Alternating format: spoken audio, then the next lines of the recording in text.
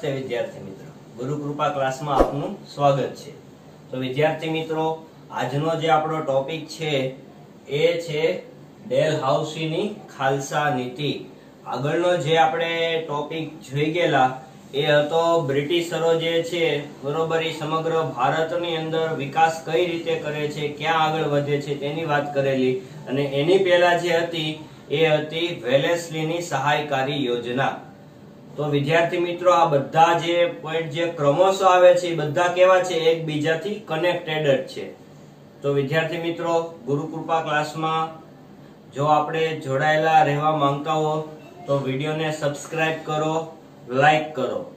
જેથી કરીને કોઈ પણ નવા વીડિયો આવે, તો તમને તરત એની માહિતી મળે, એટલે ત્યાં બેલ આઇકન હશે. એને ક્લિક કરો.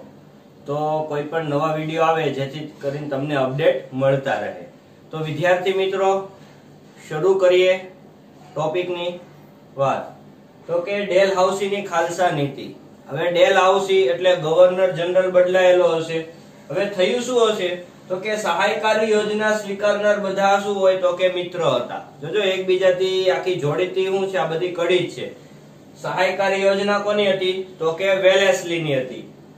બરોબર, તો વેલેસ્લીની સહાયકારી યોજના જેટલા જેટલા રજવાડાઓએ સ્વીકારેલી એ તમામ રજવાડાઓ અંગ્રેજો માટે શું કહેવાય? હવે એ મિત્ર કહેવાય. બરોબર, એટલે હવે જે સહાયકારી યોજના મુજબ જે એને નિયમો ઘડ્યા હતા એ નિયમોને આધીન બધા રજવાડાઓ મિત્રતા તરીકે સંધિ કરેલી અને મિત્રતાના આધીન ધીમે ધીમે કરતા પોતાનું જે સત્તા છે અંગ્રેજ, બરોબર એ જે એ રાજાને કઈ રીતે હટાવે છે ને એની આમાં આની અંદર વાત કરવાના છીએ આપણે. તો રજવાડાની અંદર શું હતું? તો કે સહાયકારી યોજના સ્વીકારી, સહાયકારી યોજના સ્વીકારી, એટલે જે રાજા હતો એને તો જે ચિંતા હતી કેવી થઈ ગઈ? હવે જતી રહી. એ બધાને એમ જ હોય કે ભાઈ, હવે તો આપણે શેની ચિંતા? ભલે ને આપણું નાનું અમતું રજવાડું હોય, તો નાના અમતા રજવાડામાં તોય આપણને સૈન્ય કોનું મળશે? તો કે અંગ્રેજોનું સૈન્ય મળશે? હવે જેટલા જેટલા સહાયકારી યોજના સ્વીકારેલી હોય અંગ્રેજોના મિત્ર, તો આપણે શું કહેવાય? મિત્ર કહેવાય. તો આપણી સાથે યુદ્ધ કરે તો કે ન કરે, એટલે એ પણ એનો એક સાથીદાર, સાથી મિત્ર થઈ ગયો કહેવાય. એટલે ઘટના એવી ઘટાય છે આની અંદર કે રજવાડાની અંદર કે બહાર ભય ન જણાતા. જે રાજાને હવે થયું શું? તો કે હવે રજવાડાની અંદર ક્યાં કઈ ચિંતા છે? ક્યાં ભય ભય છે? ક્યાં કોઈ આપણી ઉપર આક્રમણો કરવાના છે? તો આવી ધીમે ધીમે કરતી શું થઈ જાય છે, શરૂઆત થઈ જાય છે. બહારે તે ક્યાં ભય થવાનો છે? કારણ કે જેટલા જેટલા એ સહાયકારી યોજના સ્વીકારી એ સહાયકારી યોજનાને આધીન થઈ જે રજવાડાઓ બધા કેવા થયા કહેવાય મિત્ર કહેવાય એટલે ભય કેવો હતો, હાવ જતો રહ્યો. એના કારણે જેટલા રજવાડાઓ હતા ને બધા બિન જવાબદાર રાજ્ય બનતા ગયા. એટલે જવાબદારી જેવું કાંઈ નહીં. ખાલી શું કરવાનું? રાજાને એસો આરામ કરવાનો, કાંઈ ચિંતા નહીં કરવાની. કારણ કે સૈન્ય બળ તો મળવાનું જ છે, એવી લાલચ હતી અંગ્રેજો પાસે રજવાડાઓ જે સહાયકારી યોજના સ્વીકારી રાજ્યને. તો આવી ઘટનાનું શું થતું ગયું? નિર્માણ થતું ગયું. તો ઈ જે રાજા છે, એમાં કેવા થતા ગયા? તો વહીવટ એનો કેવો થતો ગયો? કથળો થતો ગયો, બગડતો ગયો. હવે જે વહીવટ કરવાનો હોય, હવે રાજાને એટલી બધી હવે કઈ ચિંતા જ નહીં, કારણ કે જે રાજા હોય, એના પાછા શું હોય, નીચે પ્રધાન હોય, એના પ્રધાન મંડળો હોય, અલગ અલગ પ્રકારના.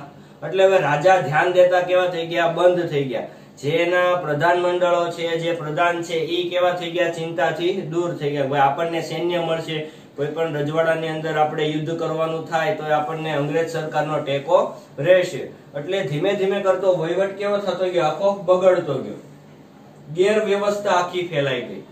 રાજ્યની અંદર જેટલા જેટલા સહાયકારી યોજનાના જે રાજ્યો છે, એને જે સ્વીકારેલી એની જે વ્યવસ્થા હતી એ કેવી થઈ ગઈ આખી? પડી ભાંગી. તો એના કારણે હતું શું? તો કે અંગ્રેજોની શું હતી? તો કે નીતિ જ હતી. યાદ કરો, આપણે અગાઉના વિડીયોની અંદર આપણે જોઈ ગયા કે ભાઈ ભાગલા પાડો અને રાજ કરો. Divide and rules. બરોબર? ભાગલા પાડો અને રાજ કરો. એની શું હતી? તો કે નીતિ હતી. તો આ એક પ્રકારનું શું હતું? ષડયંત્ર જ હતું. કારણ કે વેલેસલી જે આવેલો, બરોબર? તો વેલેસ્લીને શું કહેવામાં આવ્યું હતું? તો કે ભાઈ, કંપનીની જે સત્તા છે એ સર્વોપરી કરવાની છે. બરોબર? તો એને ષડયંત્ર તો આખું રજૂ જ પડે. તો આવા ષડયંત્રના આધારે ધીમે ધીમે ધીમે ધીમે કરતા જેટલા રજવાડાઓ છે, કઈ રીતે કબજે કરે છે એની હવે તમને કહું કે અંગ્રેજોને બહાનું મળી ગયું હવે. શેનું બહાનું મળી ગયું? કે ભાઈ એ લોકોનો જે વહીવટ છે એ સારો નથી, એની વ્યવસ્થા છે કેવી થઈ ગઈ છે? આખી ખોરવાઈ ગઈ છે, ગેરવ્યવસ્થા આખી ઊભી થઈ ગઈ છે. જે રજવાડાઓ હતા એ કેવા થઈ ગયા છે? બિન જવાબદાર થઈ ગયા છે. એટલે એને એક પ્રકારનું મળી ગયું? બહારનું મળી ગયું. એને જે તક જોતવી હતી તક મળી ગઈ. કેમ? રાજા રણજીતસિંહ જે હતા, બરોબર, પંજાબના અંદર જ્યાં સુધી હતા, ત્યાં સુધી અંગ્રેજો એના વહીવટમાં, એના કાર્યમાં કાંઈ પણ માથું નતા મારી શકતા. તો અવસાન થયું એટલે એને તક મળી. એ જ રીતે અંગ્રેજોને આમાં તક મળી. બરોબર? એને એક બહાનું મળી ગયું. એટલે ગેરવહીવટ કેવો થઈ ગયો? આખો ઊભો થઈ ગયો. હવે ગેરવહીવટના બહાને જો સાંભળજો, એમાં તે ગવર્નર જનરલ કોણ આવેલો તો કે ડેલ હાઉસી આવેલો. કોણ આવેલો? Dalhousie. હવે ગવર્નર જનરલ ડેલ હાઉસી આવેલો એટલે અંગ્રેજો બધા ધીમે ધીમે કરતા જોજો, ભારતની અંદર કઈ રીતે ફેલાય છે? હવે ગેરવહીવટનું કીધું ભાઈ, ભારતની અંદર ગેરવ્યવસ્થા ઊભી થઈ ગઈ છે એટલે આપણે આખી એની વ્યવસ્થા આપણે શું કરવી પડશે? ઊભી કરવી પડશે. બરોબર? એટલે ધીમે ધીમે કરતા ખાલસા નીતિ આવી. તો ખાલસા નીતિ એટલે શું છે? તો કે યુદ્ધ કરવાનું. યુદ્ધ કરીને કોઈ પણ રજવાડા છે, કોઈ પણ રાજા છે, બરોબર? પોતાનું રજવાડું જો અંગ્રેજોને ન સોંપે તો શું કરવાનું? યુદ્ધ કરવાનું. અને યુદ્ધ દ્વારા એને મેળવી લેવાનું. એમાં કયું કયું હતું? પંજાબ અને બર્મા. બરોબર? પછી અપુત્ર રાજા, કે જે રાજાને પુત્ર નથી હોતા, બરોબર? એ અપુત્ર રાજા કહેવાય છે. તો અન્ય વ્યક્તિનો જે બાળકો એને દત્તક પણ નથી લઈ શકતા, તો આવી ઘટના બને છે. બરોબર? એમાં ઝાંસી આવી જાય છે, સતારા આવી જાય છે, નાગપુર આવી જાય છે, ઉદયપુર આવી જાય છે. આ જે ઝાંસીનો કિસ્સો તો આપણે સાંભળેલો છે, લક્ષ્મીબાઈ વાળો. બરોબર? તો ગેરવહીવટનું બહાનું. આપણે જે જોયું ને ભાઈ, આખી ગેરવ્યવસ્થા આખી ઊભી થઈ ગઈ. તો ગેરવહીવટનો શું કરવાનો છે? અંત કરવાનો છે. તો ખાલસા નીતિ કોને? તો કે અવધની અંદર જે આખું વ્યવસ્થા છે કેવી છે? તો કે ગેરવહીવટના બહાને, એટલે અવધને આખું કેમાં લઈ લીધું? તો કે ખાલસા નીતિની અંદર લઈ લીધું. પછી કરજની ઉઘરાણીમાં. ભાઈ સહાયકારી યોજના તો હતી તે. સહાયકારી યોજનામાં શું હતું? તો કે જે યોજના સ્વીકારીને લશ્કરનો શું ભોગવવાનો હોય છે, ખર્ચ ભોગવવાનો હોય છે. બરોબર, અમુક અમુક જગ્યાએ દીવાની સત્તા અંગ્રેજોના હાથમાં હતી. તો એ લોકોને કર મેળવવાનો હોય છે. બરોબર? તો કર ન ભરી શકવાના કારણે પણ જે નિઝામનો જે આખો પ્રાંત છે એ કેવો થઈ ગયો તો કે ખાલસા નીતિની અંદર સમાવેશ થઈ ગયો. પછી ખાલી નામ માત્રની સત્તા હતી. કર્ણાટક છે, તાંજોર છે, એની અંદર તો ખાલી શું? તો કે નામ માત્રના ખાલી રાજા હતા. આખી સત્તા પણ ભોગવતા હતા તો કે અંગ્રેજ સરકાર ભોગવતા હતા. તો આ રીતે સમગ્ર ભારતને ખાલસા નીતિની અંદર એમણે શું કરી નાખ્યું? તો કે ભેળવી દીધું. સહાયકારી યોજના જે સ્વીકારી, એ તમામ પ્રદેશો જે છે, બરોબર, ધીમે ધીમે કરતા અંગ્રેજોને વ્યવસ્થા પડી ભાંગી છે, ગેરવહીવટ હાલે છે, બરોબર. આ બહાનાના કારણે ખાલસા નીતિની અંદર શું થઈ ગયા? એ બધા ભોગ બની ગયા. પછી જે ડેલહાઉસી હતો, એ બરોબર કરોડો રૂપિયા ભારતના આધારે ક્યાં મોકલવા હતા ઇંગ્લેન્ડ મોકલવા હતા.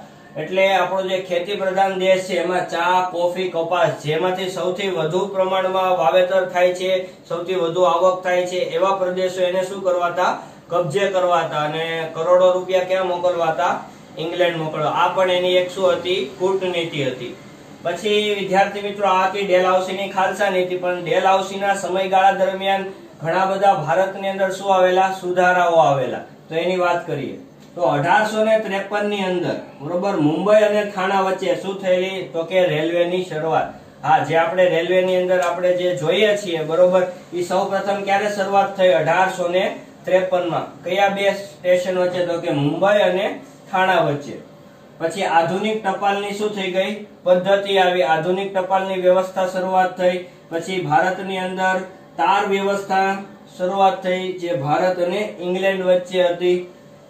પછી અમુક ઘણા બધા સુધારાઓ આવેલા. બાળ લગ્ન, પ્રતિબંધ, વિધવા, પુનઃવિવાહ. ધારો કોણે પસાર કરેલો તો કે ડેલ હાઉસીએ પસાર કરેલો. કોના કહેવાથી? રાજા રામમોહન રાય. બરોબર? ભારતીય વ્યક્તિઓએ ઘણી બધે, ઘણા બધા આંદોલનો કરેલા. ભાઈ, તમે આ કુરિવાજો છે એનાથી, એને તમે શું કરો? દૂર કરો. કારણ કે સત્તા કોના હાથમાં હતી? અંગ્રેજોના હાથમાં. એટલે કે એને નિયમો પસાર કર્યા. કોના સમયમાં તો કે? ડેલ હાઉસીના સમયમાં. પછી અંગ્રેજી શિક્ષણની શું થઈ ગઈ, શરૂઆત થઈ. ડેલ હાઉસીના સમયમાં તે અંગ્રેજી શિક્ષણને વેગ મળેલો. અઢારસો ને સત્તાવનમાં ત્રણ યુનિવર્સિટીની સ્થાપના થઈ. ક્યાં ક્યાં? તો કે મુંબઈ, ચેન્નઈ અને કલકત્તા. ખાસ યાદ રાખજો, ક્યાં ક્યાં? મુંબઈ, ચેન્નઈ અને કલકત્તા.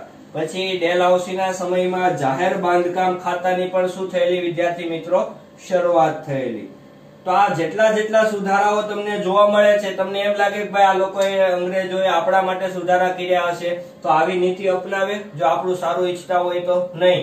આ બધા સુધારા શેના માટેના હતા? તો કે અંગ્રેજો જે વહીવટ કરતા હતા બરોબર, એને જે પરિશ્રમ કરવો પડતો હતો, એ પરિશ્રમને કેવો કરવો હતો? એને સરળ કરવો હતો. એક જગ્યાએથી બીજી જગ્યાએ સ્ટોક મોકલવો હોય, તો એ કઈ રીતે સરળ બને? એના માટેની આખી વ્યવસ્થા એને શું કરેલી હતી? ઊભી કરેલી હતી. એટલે આ કાંઈ સુધારા આપણા માટે હતા નહીં. કોના માટે હતા? અંગ્રેજોનું જે કામ છે એ સરળ થાય. એના માટેના સુધારા હતા. પછી અંગ્રેજો જતા રહ્યા અને એ જેટલા સુધારાઓ હતા એ આજે ભારતના જે લોકો છે એને ઉપયોગી થાય છે વિદ્યાર્થી મિત્રો. તો આ હતું ડેલ હાઉસીની ખાલસા નીતિ. ખાસ આની અંદરથી વન લાઇનર ટાઈપના ઘણા બધા પ્રશ્નો પૂછાય છે, એ ધ્યાન રાખવા બરોબર? આમાંથી જે સુધારાઓ છે, એ ખાસ અગત્યના છે. એટલે સુધારાઓ જેટલા જેટલા આની અંદરથી જે વન લાઇનર નીકળતા હોય એક એક માર્કના પ્રશ્નો નીકળતા હોય, એ તમે ટેક્સ્ટ બુક કે કોઈ પણ એનો અંડરલાઈન કરી નાખો, કોઈ ચોપડો છે, એમાં સવાલ લખી, એની નીચે જવાબ લખી નાખો. આ બધા સુધારા એક એક માર્કમાં. જેથી કરીને પછી શું તો કે આપણે ખાલી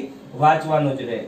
તો વિદ્યાર્થી મિત્રો, આની અંદરથી કાંઈ તમારે જો મને સૂચન કેવું હોય તો તમે કહી શકો છો. તમારો એવો ટોપિક જે છે તમને નથી સમજાતો, તો પણ મને કોમેન્ટ બોક્સની અંદર લખીને મને કહી શકો છો.